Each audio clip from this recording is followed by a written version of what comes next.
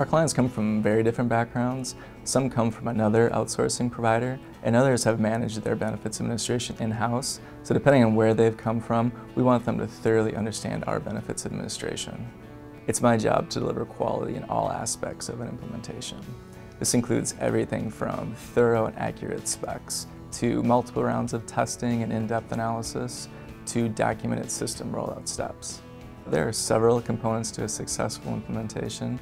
I like to listen to my client and understand their definition of success.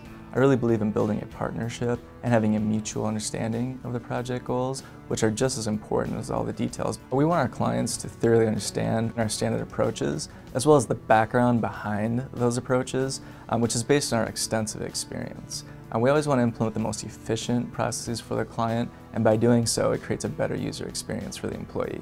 A great example is the development of detailed process flows that turns complex plan design requirements into easy to understand steps that we can build system processes to administer and also so we can build an online uh, engaging experience for the employee.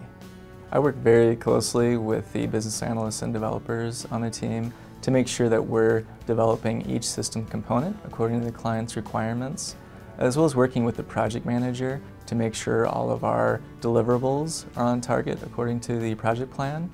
And I also work with the Benefits Operations Center to make sure all of our system jobs and procedures are run correctly and are documented accurately.